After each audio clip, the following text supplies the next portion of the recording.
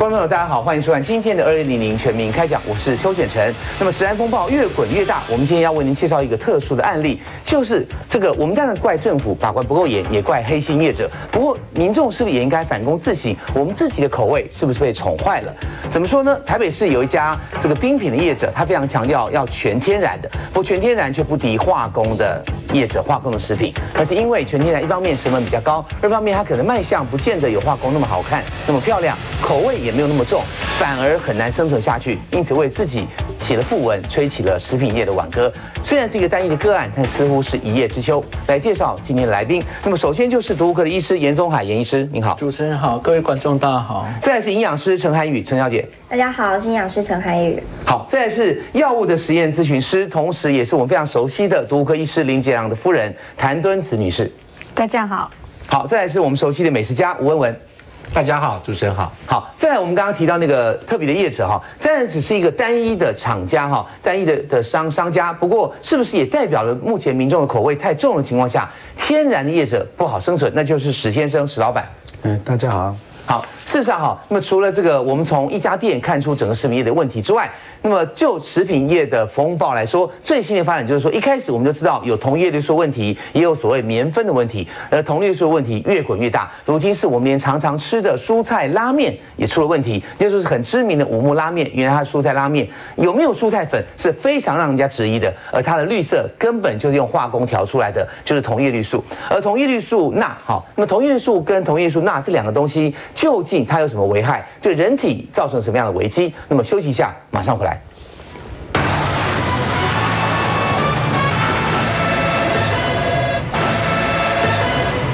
欢迎回来，二零零零全民开讲。那么这一波的食安风暴当中，一开始就传出有问题的，就是所谓的同叶绿素，那就是因为橄榄油根本没有完全。完全没有橄榄，那么就是用同叶绿素调调制成类似橄榄油的颜色，所以大家对同叶绿素事实上已经耳熟能详了。不过最新的发展是还有所谓的同叶绿素钠，那么这种同叶绿素钠也好，或同叶绿素跟真正的同叶绿素又有什么差别呢？我们先来看下面这则报道。五木蔬菜拉面下架，被爆出用同叶绿素钠，消费者认为的天然，其实很人工。实际试验将拔来的树叶加入酒精，分解出叶绿素。混入面团里，绿色没那么明显，但滴进一点同叶绿素，两相比较，天然叶绿素颜色反而越来越淡，三小时左右甚至会变成黄褐色，而同叶绿素可以一直维持漂亮的绿色。染的大概三个小时后就开始会变色，因为氧化，就像那苹果饭就会变咖啡色一样。绿素钠和同叶绿素成本差不多，都是一公斤台币一千块，那一千块的话可以泡。五六千杯上，不止食物、饮料也广泛运用。和同叶绿素不同，同叶绿素钠可以用在调味饮料、果酱、果冻中。只要零点五 CC 就可以产生绿茶的效果。所以同叶绿素钠是水溶性，加在水里立刻变成漂亮的绿茶颜色；加在油里会直接沉在下面。而同叶绿素溶于油，只要加一点点，立马变成漂亮的橄榄色，成本省很大。但不溶于水会浮在上面。但化学老师表示，只要加乳化剂，照样能溶在水里。同叶绿素不能加在油里，是因为遇到高温，铜会分解出来，大量长期摄取可能会造成肝肾伤害。所谓的合法食品添加物用在不对的地方，健康危害相当可怕。TVBS 新闻杨清波、陈振汉、王义杰台北报道。好的，那么在我们现场呢，我们可以看一下，我们有带来很多绿色的食品。为什么绿色食品这么多呢？那么。坦白说，就是因为我们从小就被灌输一个观念，叶绿素是对人体身体健康好的东西。待会我们营养师也会为我们做进一步的解释。那么叶绿素的确对身体好，那么蔬菜那更不用说了，对身体非常好。因此我们强很多强调说，哎，白面条还不够好，要加点蔬菜进去，菠菜面啦，啊，或者说抹茶啦，好，天然的抹茶粉都对身体好的。也因此出现这么多绿色食品，但是这么多食品里面到底什么好，什么不好，我们该怎么样区分？待会就为您详细的解释。是，那么事实上啊，我手上现在也拿了拿了一包，就是出问题的五木蔬菜拉面。那么五木事实上它在市场的占有率高达三成，数一数二的这种这种呃素食面，呃这个这叫做面干哈，这样的面呃除了一般的素食面之外，单纯煮面条，五木是数一数二大品牌。它后面呢就是有点欺蒙消费者哈，后面就打着说叶绿素这三个字，坦白说这根本就是骗人的，因为它不可能是叶绿素。我们刚刚新闻已经解释了，叶绿素这。这个东西，那是很容易不够安定，很容易受到破坏。你一煮呢，叶绿素的绿色就不见了，那消费者一定觉得哇，我好像被骗了。哼，就是说大家的已经这观念已经颠倒了，好的东西反而它的颜色不见了，观众呃消费者反而会认为说是不是有点怪怪的，所以反而现在造成大家都用化学的添加物。所以呢，呃，我们事实上现场马上要请恩文哈，事实上我们说有这么多绿色的东西，对我们先请恩文来调哈。嗯，同叶绿素为什么这么好用，被用的这么广泛？根本就橄榄油非常贵哈。因为大豆沙拉油对对调一点点就像橄榄油，因为其实我们刚刚讲了，其实我们自己在做菜，你知道那个青菜炒一下，它颜色它就会它会变了，或者是我们自己在家里做蔬蔬菜面，你拿菠菜去打的那个汁，拿来揉到面团里面去，其实它过一阵子它就不会那么漂亮，除非你立刻 立刻揉、立刻做、立刻吃，可能会很好。但是你看放到那个干燥的环境里面，甚至你今天煮煮了很久，甚至煮完之后再放了两三个小时，它永远都是这么漂亮，这绿色你就知道一定是有。有有问题的了哈，那所以就是说你在标示的时候，你到底要写说你放的是什么东西？我发现很多呃这个标示，他们都是写叶绿素，都去头又去尾，你知道，都是取你们会相信的这个部分。但其实我们认为很棒的那对，但是个部分。同叶绿素或铜叶绿素钠，然后这个铜跟钠都不见了，所以大家都以为是叶绿素。如果是写叶绿素，你当然会以为我可能是从菠菜当然去榨榨出来的嘛，但其实是。是错的，这个地方我用了一个是，它这个是油油油溶性的啦，哈，就是我们讲的这同叶绿素。但如果你滴滴在水水里面，它其实是会浮在上面的，看到没有？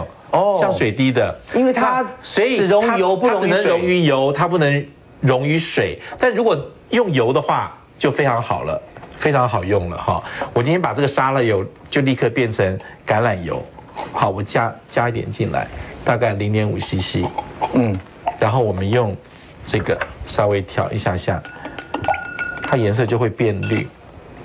好，那你可以看你希望它变成什么样牌子的橄榄油了。你要它多绿，它就可以多绿你；要它多绿就可以你要它多么多么 pure，好，或是是 extra pure，好，因为我们知道橄榄油有分等级的哈。对对对对对对对。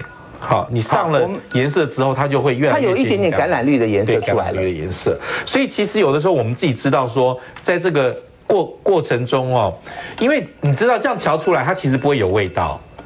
所以它如果要有这个橄榄油的味道，嗯还要再加香它其实精。还要加香精。对，所以我们就可以知道说这个多么黑心哦。呃，它吃，要么你给我吃大豆沙拉油也也就罢了，是。就你加了不好的色素，对。又加了不好的香精，那我闻起来很香，我都以为我买到多健那康的东西。像他们这种面哦，一般我们其实应该是用用面团，就是你自己在、呃用用面面粉。面粉面粉，然后你调成水了之后呢，直接就呃去跟它揉。对，但因为我们现场比较不方便，所以我们用面团来面团了对测试一下，让大家感觉那个哈，嘿。它揉揉揉进去，你的面团它就哦，会变绿的。其实我们看中间也有绿的颜色了，对，它就会变绿。那它如果揉得很调和之后，切一切就像面条了，对就像导致我们看对面这些五木拉面哈，对对对对就是这么来的。甚至有些，我觉得有的时候你说像蔬菜的这个部分还 OK，因为它其实本来你如果用真的蔬蔬菜或这个可能成本，可是绿茶是贵的哦，所以我其实一般怀疑市场上有很多用绿茶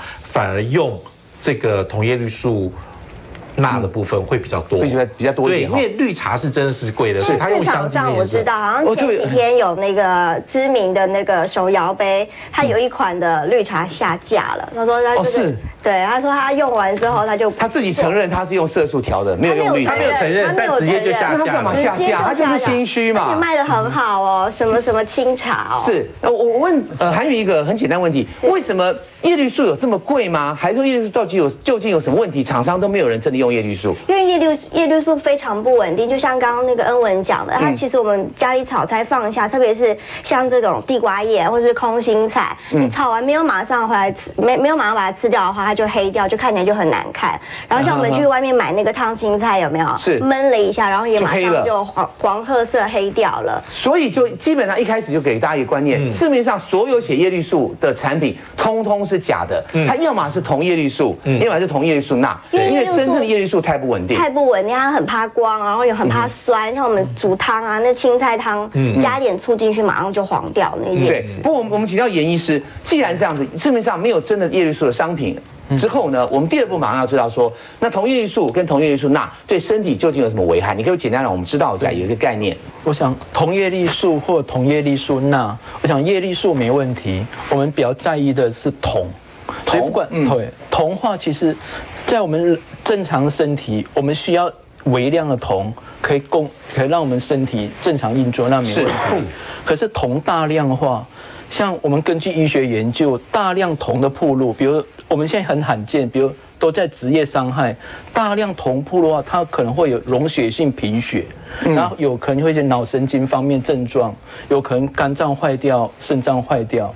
那可是如果嗯，我们把同叶绿素或同叶绿素钠加在油或加在面当中，我们怕说长期低剂量铺路，它也是会伤到我们肾脏，伤到我们的肝脏，比如肝功能恶化、肾功能恶化。我们也看一下我们制做这个表哈，对。就是长期食用哈会伤肝，对。增加肝炎的风险，另外也会肝肾的病变，对。慢性病，好，所以慢性病跟贫血的患者都避免食用，这是同叶绿素的部分。那那我们来看一下同叶绿素钠，因为同叶绿素钠可以呃做在比较多的商品，那为什么这对这两种我们有不同的适用范围？嗯，如果以这两者来比的话，同叶绿素它脂溶性，同叶绿素钠水溶性，所以以人体来看，同叶绿素会比同叶绿素钠更加毒了。哦，因为我们喝水可能就把对。同叶素钠给给排掉了。排掉了，对，好，那可脂溶性的毒素化，它我们摄取到我们体内，它可能沉积在我们脂肪组织、内脏组织，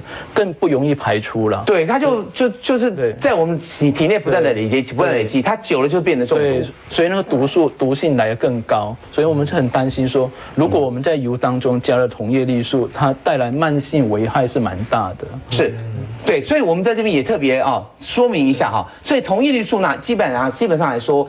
它的合法使用范围比较多，好，那它可以用在哦像干海带，然后像蔬果的加工品，好啊调味乳。所以调味乳，我们事实上我们昨天有报道哈，这两天报道说有所谓的绿茶多酚啦，哦有什么抹茶好朋友这类东西，它用了同叶绿素钠，那是合法的，偏偏不可以用在这种米瓜哈这种干的面条里面不可以。那我请教它上面还说它是不使用人工添加物哦，我有看到。哦它不添加防对正面的那个右边有圈圈小圈圈有。对，不油炸，不添加防腐剂，那没有呃，他他强调本产品都是天然原料，那坦白说这就不实广告了哈。那所以呃，为什么它可以用在调味乳、汤类，呃，像干海带都可以用在这个拉面就不行呢？因为这种会大量食用啊，这哦。种这种是我们的主食类嘛，这样我们呃是总热量来源在百分之五六十以上的热量都是来自于这种碳水化合物，会吃很多，就是会吃很多啊。因为坦白说，我们吃什么什么饮料啊，什么干海带，我们吃得了多少？对啊。没有人拿干海带像一碗面这样吃对，所。以这种风险就会所以风险比较大，所以我们就是首先要